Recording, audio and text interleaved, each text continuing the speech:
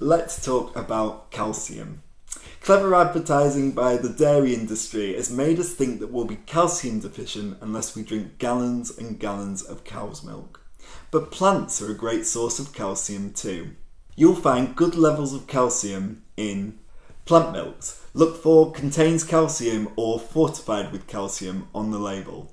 Leafy greens like kale, broccoli, and spinach. Tofu, pulses like beans and lentils. You should be aiming to have about 700 milligrams of calcium every day. Oh, and while we're here, let's talk about iodine too. Nutritionists are concerned that all of us, not just vegans, could be deficient in iodine. Here's where you can get your iodine. Iodized salt, though it can be hard to get hold of, and salt is hardly a health food, is it? Seaweed. Though the availability of iodine from seaweeds is variable and it can sometimes provide too much, which is dangerous. Cereals and grains which have been grown in iodine rich soil. Sounds quite tricky, doesn't it?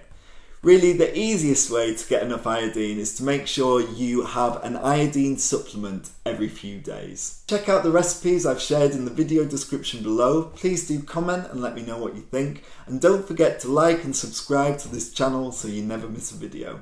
See you tomorrow.